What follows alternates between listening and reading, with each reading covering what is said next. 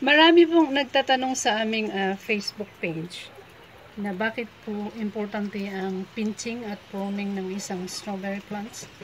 And kaya po kami gumawa ng um, video na to to answer those questions. And the reason why we are doing pinching here in the garden is to allow the strawberry to um, to grow bigger before it bears fruit.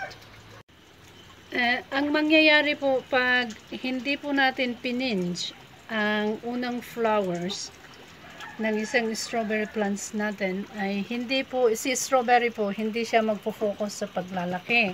Kasi yung nutrients, mapofocus, mapupunta po sa eh, flowers. At para po lalaki si strawberry bago siya mamunga, kailangan po natin i-pinch ang first flowers. Ito po, oh. Tingnan natin. Ito ang unang flowers ni um, actually this variety is Tuchutumi.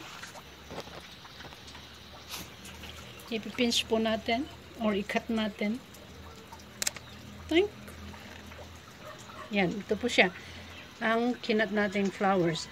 At um, aside po sa pagpinch ng unang flowers, i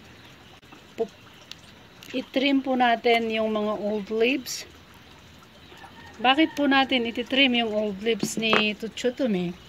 Para po, you know, um, so that there will be more rooms for new leaves to grow. Ayan, makikita nyo dito, oh.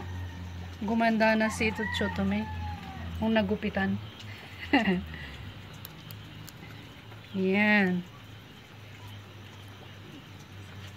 Ito po ang resulta after pinching and um, trimming sa strawberry plants natin.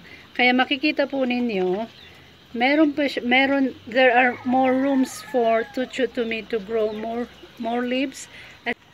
So hope this video will answer your questions and uh, for more updates sa mga sa mga katanungan sa Facebook page namin kasi gagawa pa kami ulit ng video sa next sa susunod.